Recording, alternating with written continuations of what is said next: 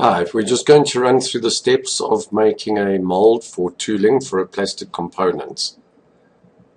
The first step is to create this protrusion with non-symmetric extents. You then insert the part. After that, you do a Boolean subtraction, then you copy a surface. You extend the surfaces out to ensure that the surface goes out of the part area.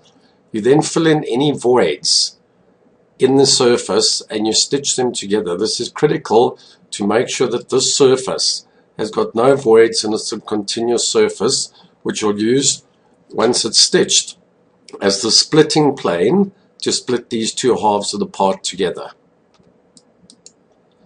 So to recap, the steps are number one, draw your protrusion.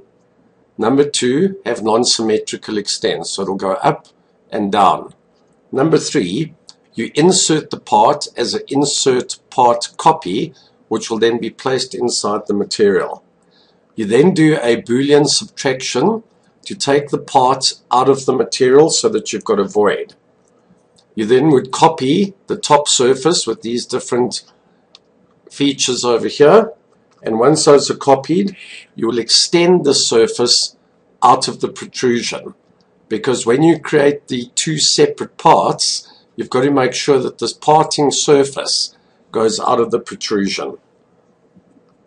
You then would stitch up all the holes in the surface to ensure that these are filled and it's one contiguous piece of material.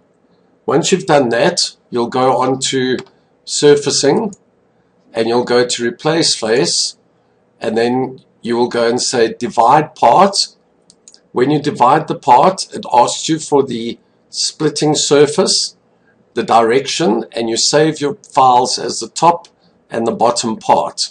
You can see there's the bottom part and there's the top part. Just to make sure that you've done everything correctly, you can then take the save top part and the save bottom part and put them together in an assembly document. You would then go and set your cutting planes so we would put a cutting plane on this particular surface.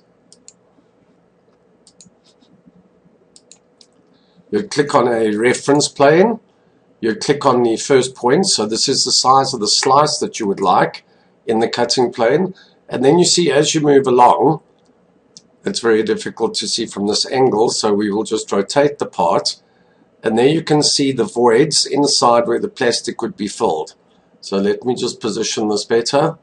And as you move your cutting plane, you will see as you go through the part, these are the apertures here where the plastic would fill between those sections.